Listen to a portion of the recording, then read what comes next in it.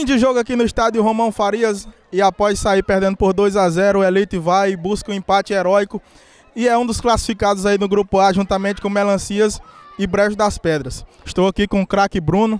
Bruno, é, o Elite saiu aí atrás do placar.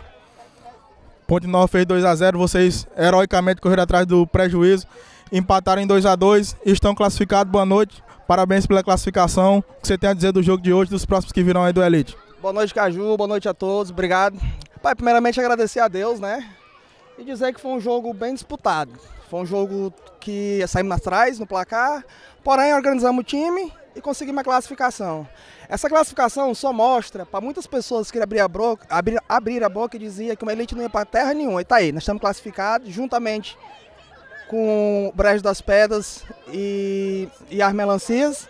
E estamos aí prontos para a segunda fase. Agradecer também nosso apoio que a gente teve da Agro e Flores lá de Picos, o apoio de todo mundo que apoiou a Elite desde o começo. E dizer que agora é só comemorar e esperar a próxima fase que o Elite está classificado. Aí, Bruno, valeu, parabéns, Bruno. Falou conosco o craque Bruno da equipe do Elite.